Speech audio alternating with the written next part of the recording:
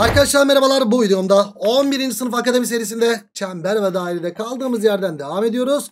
Ne yaptık? Konu anlatımını bitirdik. Sırada ne var? Testler var. Testlerin çözümünü yapacağız. Evet çember ve daire ile ilgili testlerin çözümünü yapacağız. Kitabımızda sayfa numarası 193 ve 194'ü çözeceğiz.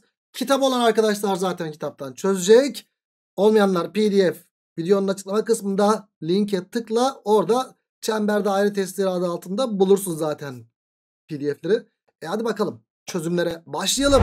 Birinci soruda düzlemde çapı 6 birim olan çemberin merkezinin K noktasına olan uzaklığı 12 eksi x birimdir. K noktası çemberin dış bölgesindedir. Hemen şekli yorumlayalım. Çemberin merkezi burası çapı 6 birim. Yarıçapı kaç yapacak? 3 yapacak. Tam aklımızda bulunsun yarıçap 3. Ve K noktası varmış bir tane. Hop şuradaki uzaklıkta neymiş? Hocam 12 eksi x birimmiş burası. E şuna bak dikkat et. Yarıçap kaçtı? 3. Dikkat et yarıçap uzunluğu 12 eksi x'ten ne olmak zorunda? Dışında olduğu için nokta küçük olmak zorunda. O zaman 3 küçüktür 12 eksi x'ten. X'i buraya 3'ü buraya atalım. X küçüktür 9 mu geldi? Evet. X'in en büyük tam sayı değeri nedir diye soruluyor. En büyük tam sayı değeri 9'dan küçük olacağı için 8 olur. Yani cevap Akçay yaptı birinci soruda. 2'ye geldik. Merkez kiriş çektikler yapılmış. Dikkat et eşit uzunlukta bunlar. O zaman kirişler de eşit uzunlukta. Yani burası çizgi çizgi iki eşit parçaya böldüyse burası da çizgi çizgi iki eşit parçaya bölmek zorunda. Ali Bey uzunluğunu zaten bize 3x eksi 9 vermiş. Bir de CD uzunluğunda 2x eksi 4 vermiş. E o zaman bunlar birbirine eşit değil mi? Kiriş merkez eşit uzaktaysa bunlar birbirine eşit. Hadi bakalım 3x eksi 9 eşittir 2x eksi 4'ten. X'i de buradan kaç buluruz? Çünkü 3x eksi 2x x yapar. Eksi 4 artı 9'da 5 yapar. X 5 çıkar. Yani cevap Akçay oldu ikinci soruda. 3'e gel 3'e geldik. E merkez var, kiriş var. Ne yapıyorsun? Bağıra bağıra çektik. 2 eş parçaya bölecek. 6'yı değil dikkat. Bu kirişin uzunluğu kaç? Toplamda 8. 8'i 2 eş parçaya bölecek. 4. 4. 2 kaldı buraya. Burada da bir Pisagor yapacağız. Hatta güzel bir Pisagor var. 30 60 90 üçgen değil mi? 90'ın karşısı 4 iken 30'un karşısı 2'dir. 60'ın karşısında 2 kök 3'tür. E burası 2 kök 3. Aa benden çemberin yarıçap isteniyor. En etkili silahın hop çıkarttı silahları. Yarıçap. Yarıçapı çizersin böyle. Zaten yarıçap isteniyor bizden. Burada da bir Pisagor bağıntısı. R kare de eşittir 4'ün karesi artı 2 kök 3'ün karesi yapmaz mı? Buradaki Pisagor'dan kenarlar 4 ve 2 kök 3 olduğundan dolayı. R kare eşittir 16 artı 12 28. R de buradan kök 28. 28 dediğimiz 4 çarpı 7 4 dışarıya 2 diye çıkar. Cevap 2 kök 7 yapar. Yani Balıkesir oldu. Üçüncü soru. Geldik 4'e. Şekilde O merkezli bir çember verilmiştir. Şimdi OE ile OF arasında bir ilişki verilmiş ve büyük verilmiş. Bizim OE OF'den daha büyükse bizim buradaki yükseklik daha da büyüdüğü zaman bak daha da büyüttüğüm zaman kirişim ne olacak? Küçülecek. O zaman bu bizim OE OF'den büyükse AB kirişi merkezden daha da uzaklaştı daha da küçüldü demektir. O zaman AB küçüktür nedir? CD'dir. Kesinlikle ama kesinlikle. Peki burası merkez kiriş çektik. İki eş parçaya böler. X eksi 4 yapar burası da. Ali Bey uzunluğunda x, x artı 1 demiş. Arkadaş AB ne? X artı 1 küçüktür. Şurası da ne? Toplamda 2x eksi 8. Bunu buraya attım bunu buraya attım. 9 küçüktür x geldi. Yani x büyüktür 9 geldi. X'in en küçük değeri kaç çıktı? 10 çıktı. 9'dan büyük 10 yapar yani. Dördüncü soru Balıkesir yaptı. Geldik 5'e. Soruya baktın. Çeyrek çember yeterli. Çeyrek çember demesi burada kaçın? 90 derece olması demek. 360'ın çeyreği. 90 değil mi? E hemen ne yapacaksın? En etkili silahın hop yarışap. Yarışapı çizdikten sonra.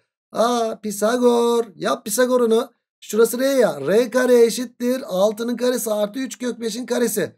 Yani bu 36 artı bu 45 81 yapar. R kare 81 ise R'yi de buradan 9 olarak buluruz. R 9. Hocam R9 ya. X bak burada. Aa burası 9. X'e kaç kaldı? 3 kaldı. Cevap Balıkesir yaptı. 5. soru. Geldik 6'ya. TK'ya 1 vermiş. Ali Bey uzunluğunu 6 vermiş. Merkez kiriş çektikten 2 eş parçaya böler. 3 3. CD'yi de 8 vermiş. 2 eş parçaya böler. Merkez kiriş çektikten 4 4 oldu burası. E şimdi ne yapacağız? KL uzunluğu isteniyor bizden. Arkadaş şu KL uzunluğunu bulmaya yönelik hamle yapacağız. Şimdi nasıl bir hamle yapacağız? Arkadaş bizim en etkili silahımız neydi? Yarı çap. Al sana yarı çap. Bir tane yarı çap bu. Bir de buradan şuraya da çizebiliriz de. İster buraya çiz ister buraya çiz fark etmez. Yani büyük şu kirişik de kullanacak şekilde. Bir bu kirişi kullanacak şekilde şöyle bir yarı çap çizdim. Bir de bu kirişi kullanacak şekilde böyle bir yarı çap çizdim. Yani bir burada bir dik üçgen var karşımda. Bir de burada bir dik üçgen var karşımda. Burası da R mi? Evet R. E şimdi burada ne diyeceğiz? O o o şuraya da Y dersem sıkıntı. Sıkıntı sıkıntı sıkıntı.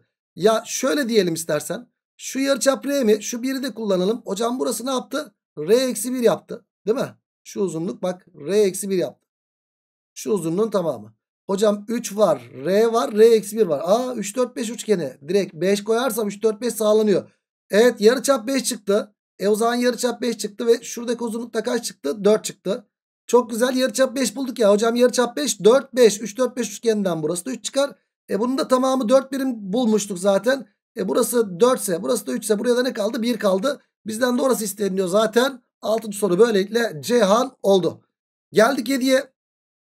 Şekilde yarıçapı 15 santimetre olan O merkezli yarım daire verilmiştir. Dairenin mavi boyalı kısmı şekildeki makasla kesilip D doğrusu boyunca yerleştirilmiş. Şu kısım kesilmiş buraya yerleştirilmiş. K üssü B 54 verilmiş. Yani şuradaki uzunluk 54 vermişler bize. O noktasının KT'ye olan uzaklığı merkez kiriş çektik. İki eş parçaya böler mi? Böler. Şuraya. Şuradaki uzunluk isteniyor bu arada benden. Şimdi yarıçapı da 15'miş bunun. Yarıçapını da kullanacağız. Bak bak bak. Yarıçap 15 ise 15 burada 15 burada toplamda burası da 54. 30 buradaysa 54'ten 30 çıktı burası 20 yaptı. Ben bunu kesip buraya yapıştırmıştım. Bu, burası 20 ise burası da 20'dir. O zaman bunlar da 10 10 yaptı. Evet. E şimdi ne yapacağız? O noktasının KT'ye olan uzaklığı isteniyor bizden. Şimdi ay ay ay ay pardon pardon pardon. Şurası kaç? 24 olacak. 30 burada 24 olacak. O zaman bunlar 12 12 oldu. Ve en etkili silahımız neydi? Yarı çap. Hop yarı çap. Bu da 15. Pisagor. 12 15 ne üçgeni? 9 12 15 üçgeninden cevap 9 çıkar.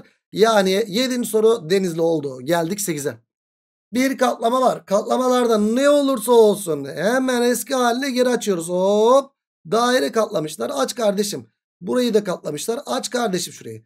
Burası katlamada üst üste binen kenarlar eşit olacak. 4 ise 4. 2 ise 2.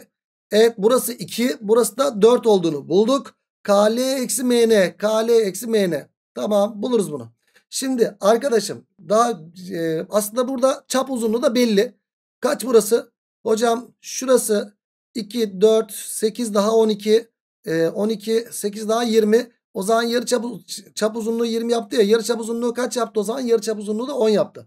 İki teknik göstereceğim. Birincisi yarı çap uzunluğu 10'sa merkez burada ya. 6 kaldı buraya. Buraya da 8 kaldı.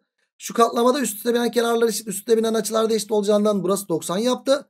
E bizim en etkili silahımız yarıçap. Al sana yarıçap. Yarıçap uzunluğu 10 olduğundan 6 8 10 üçgeninden 8 çıkar burası. Ya da burada da yarıçap çizersen burası 10 ya. Burası da 90 derece olduğundan katlamada üst üste binen açılar eşitliğinden 18 6 burası 6 8 10 üçgeninden. He çıktı. Bizden ne isteniyor? 8 eksi 6 isteniyor. Cevap kaç yapar? 2. Balıkesir yapar cevap. Ya da ikinci teknik nedir hocam? Bir yarım çemberde böyle çapa dik çizilmişse şu aş isteniliyorsa buranın 4 şuranın da 16 olduğunu biliyoruz ya. Aa hocam öklit bağıntısı hop şöyle çapı gören çevre açı 90 derece olduğundan öklit bağıntısı yapabilirim. H kare 4 çarpı 16'dan 64'ten burayı 8 buluruz. Aynı şekilde şuraya da ben x diyeyim mesela. Burası da kaç? 2'ye burası 18 oldu. 2'ye 18 oldu. Burada da çapı gören çevre açı 90 derece yapacak olursam yine öklit x kare eşittir 2 çarpı 18 36'dan x'i de böylelikle 6 buluruz. Yani 6'ya 8'i bu şekilde de bulabiliriz. Ama en etkili silahtan da bulabiliriz. Evet 8. soru güzel bir soruydu. Cevap Balıkesir oldu. Geldik 9'a. Aşağıda O merkezi çeyrek çember verilmiştir. 90'lar havada uçuşuyor. Ne yapacaksın? Dal alfa beta'ya. Dikkat et bu yarıçap bu da yarıçap. Alfa beta alfa beta. E hocam ne oldu? Bak dikkat et elimizde bu üçgen var. Bir de şu üçgen var. A iki üçgende alfa beta 90 alfa beta 90 bunlar benzer. Hatta 90'ın karşısındakiler R R yani eşit. O zaman bunlar eş üçgen oldu. Alfanın karşısı 5 ise alfanın karşısı burada da 5 yapar. Beta'nın karşısı burada 12 ise beta'nın karşısı burada da 12 yapar. 5 12 13 üçgeninden burayı 13 bulduk. E hocam burası da yarıçap burası da 13 olacak. 7 5 daha 12'si buradaysa x'e de 1 mi kaldı? Evet cevap böylelikle 1 yaptı. 9. soru Edremit oldu.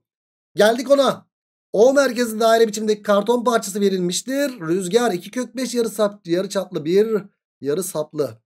Yarı çaplı bir daireyi AB boyunca merkezinden 2 cm uzakta kesiyor. Şöyle 2 santimetre uzakta kesti demek. Merkez kiriş çektik yaptığımızdaki şuradaki uzaklık 2 birim demek değil mi? Evet. Ve yarıçapı da kaç birimdi? 2 kök 5'ti. Hocam Pisagor bağıntısından 1 2 kök 5 üçgeninden burası 4 çıkar burası da 4 çıkar. Sonra e, AB boyunca 2 santimetre uzakta kesiyor. Tamam kesti. Sonra 20 santimetre uzundaki cetveli şekildeki gibi yerleştirerek A ve B noktalar arasındaki uzaklığı ölçüyor. B noktası cetvel üzerindeki hangi sayıya denk gelir diye soruluyor. Arkadaş biz burayı kaç bulduk? 8 bulduk. E, burası 3 ya. 3'ten 8 birim ötede ne var? Hocam 3 artı 8 11 noktası olması lazım. Dolayısıyla cevap Balıkesir yaptı 10. soruda.